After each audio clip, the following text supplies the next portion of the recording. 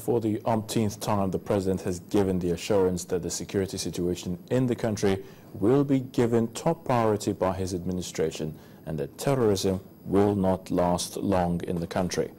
President Goodluck Jonathan gave the assurance at a closed-door meeting with the members of the Catholic Bishops' Conference of Nigeria at the Presidential Villa, Abuja. President of the conference, Archbishop Ignatius Kaigama, who led his colleagues to the meeting, said they are disturbed that parts of Nigeria's territory are being taken away with so many people displaced. We just feel uh, that things are not right. Uh, territorially, our land is being taken away.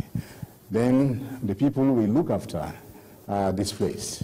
Their homes, their villages, their towns are captured, and they are internally displaced, really refugees in their own land. We thought this is not right. We have families that are just stranded, and we thought that Mr. President should know. And as a Catholic Church, we have a very good structure of relief and uh, taking care of such situations. We want the government to collaborate with us. We have what we call the Justice, Justice, uh, Peace and Development Commission and we respond when there is an emergency. We know how to very technically do registration of displaced people.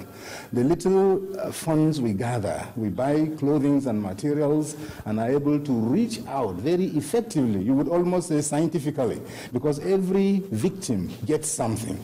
So we are telling government that we are aware of the wonderful effort they do uh, the relief they give through NEMA and other agencies, but uh, the effectiveness of distribution is our concern. Boko Haram agenda is very clear.